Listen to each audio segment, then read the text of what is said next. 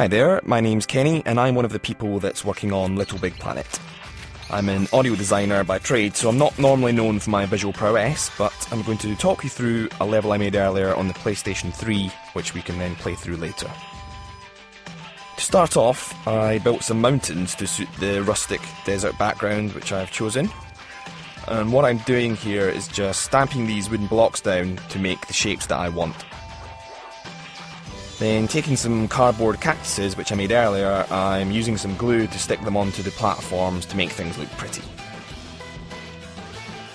Okay, so here I'm constructing a frame to attach some pinata which I built earlier, and I'm just measuring the frame against the pinata to get the height of the frame correct, and then simply copying and pasting that first piece of frame to quickly create a more complex structure.